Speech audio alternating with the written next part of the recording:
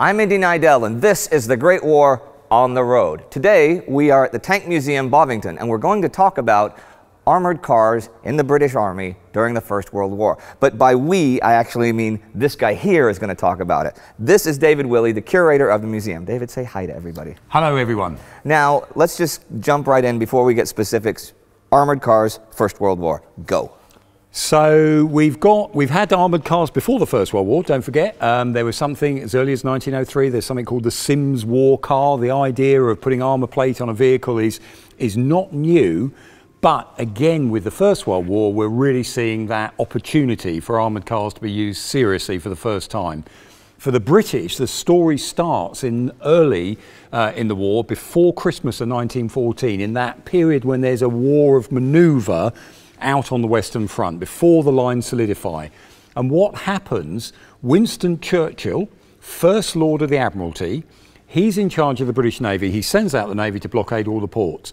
He's then itching to get more involved in the fighting on the Western Front that's going on.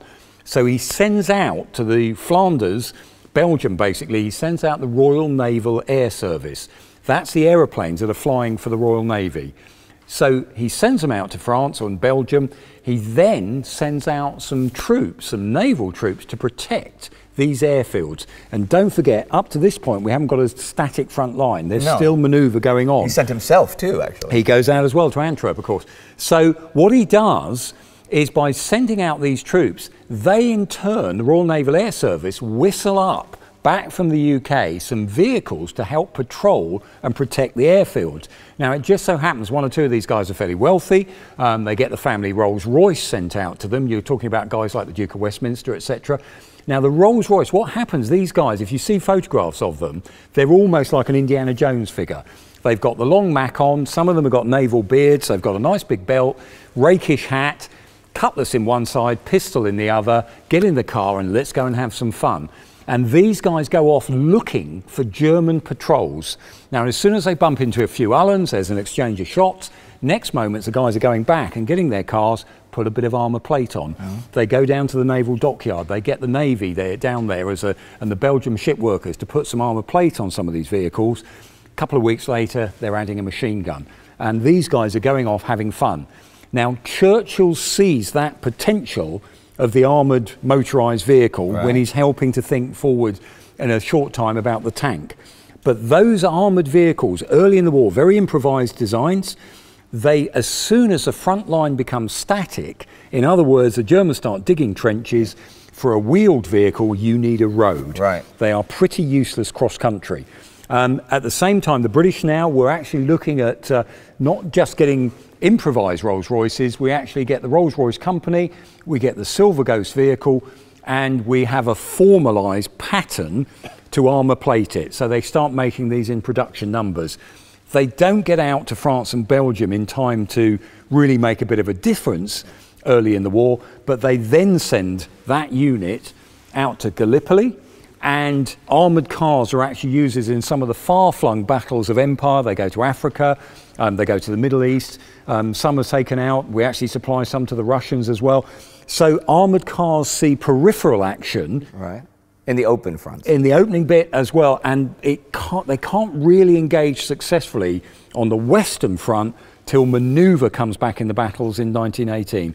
And then we see the armoured car yet again take a role during the exploitation phases at things like the Battle of Amiens, they can go racing ahead up perfectly paved roads still because they've got through. Yeah. Again, this one, this is our Rolls Royce. This is actually a post war. This is called the 1921 pattern, very similar to the First World War ones. The armoured body, Silver Ghost Rolls Royce engine under there, Vickers machine gun in the turret, sometimes two or a three man crew. And uh, it's also what you have to say, it's such a stylish looking vehicle. Yeah. And this particular Rolls cool. Royce went into service with the British Army just after the First World War, saw service in the Far East, went to Shanghai, and this was still serving the British Army at the beginning of World War II, doing airfield defence and coastal protection. Now, how, how, what could this armour handle? Um, you're looking at here, you can actually see it again. It's a standard sort of um, First World War just 0.47 of an inch, 1.2 centimetres. It'll stop bullets yet again. Um, they have a problem, of course, with armoured cars generally because as soon as you get a tyre punctured, yeah. they start introducing run flat tyres so you can still actually proceed even though you've lost most of the air out of the tyre. But the real problem of a vehicle like this, and you can see it, even though they've strengthened the axles, they've got a fairly long wheelbase, as soon as you leave a road, you're in a bit of trouble. You're in real trouble. Um, and again, if you only have to think of the Western Front, boggy ground, shelter-strewn ground, etc., uh, churned up, you're going to have uh, an awful lot of trouble trying to get a, the mobility that something like a Rolls-Royce well, is great advantage. Tank which is why you go for a track vehicle which has got that capacity to cross rougher ground. Now, um, maybe people up there don't know, cars back then, how fast could this thing go on a decent road? Um, this is actually quite a speedy vehicle. You know, we've, we've taken this vehicle out. This one still drives. Um, it's, it's used for parades. Uh, off record, the guys have got it up to about 45 miles an hour on the open road. Okay. Now, that's a lot of speed for this kind of level of armour plate that's on there. Yeah. The problem you've got is, of course, speed's not your real issue, it's stopping. Um, so if we get too fast, trying to slow this damn thing down, you've got to go oh, through the brakes. The, the weight. sheer weight, that's another thing that, that, that people tend to forget about. So mobility, just being able to get around that much quicker, um, and again, they're looking in 1918, how can we use armoured cars with cavalry, other armoured vehicles? Again, in 1918, we're seeing this, this clever use of the latest technology. How can we tactically use it, let the tanks make a hole, let those armoured cars go ahead and do the damage, cause mayhem behind the lines? You can actually take, a pull a lever inside, and it takes the exhaust away from the engine. So the idea is if you're in a colonial or policing situation, Mm. If all the locals are getting a wee bit too close or a little bit too uppity for what you like, you pull the lever, this roar comes out the engine and everyone backs off. All right. So it's a simple way, again, non, non-lethal weapon you system can, sort of thing. Definitely. Oh, you got that. Okay, great. um, okay, well. Okay, let's have, we see if we can have a look in the back. So, um, see? Do you want to be the young and fit one? Um, not in these pants. as I discovered on the uh, on the Mark One that I so do you want to come around and have a nose in through the back here and we can describe what you're looking at? So if you want to, uh, to peep through there. So obviously you can see there, the right-hand side is a driver and even though he's got a back to his seat, he's actually pretty much sitting on the floor. Okay. And at the moment, ahead of him, his visor, there's a lever on the dashboard. You pull the visor and that lever drops down. Um, there's a starting handle, steering controls, gear levers on the actual um, steering wheel, you can see through there. And above him would be the commander who operates also the Vickers machine gun. He's got a hatch in the top, different models, slightly different shaped turrets.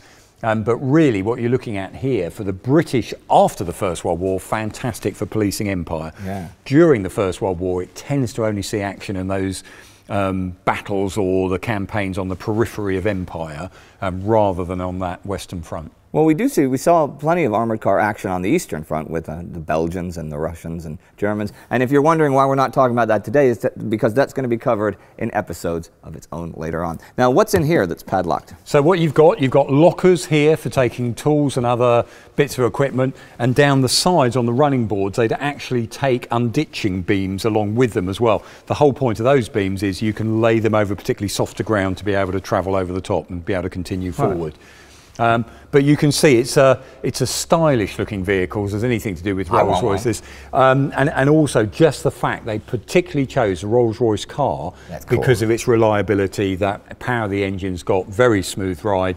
They strengthened the suspension, given an extra wheel at the back uh, for the armoured car version. But um, it's, it's a stunningly effective vehicle and so well made. They were going on to the beginning of the Second World War, those, those early 1920s versions. So, you know, a cracking bit of design. All right, well, there you have it. The Rolls-Royce armored car and the British armored cars in general during the First World War. Well, David, thank you very much. Thanks, Ed. Okay, um, if you'd like to see our episode about how when Winston Churchill actually did go to Belgium in the early stages of the war, you can click right here for that. Do not forget to subscribe and check us out on our, our subreddit out because it's got all kinds of cool stuff. And Flo, scream something so they know you're here. Hi. And there's Flo. See you next time.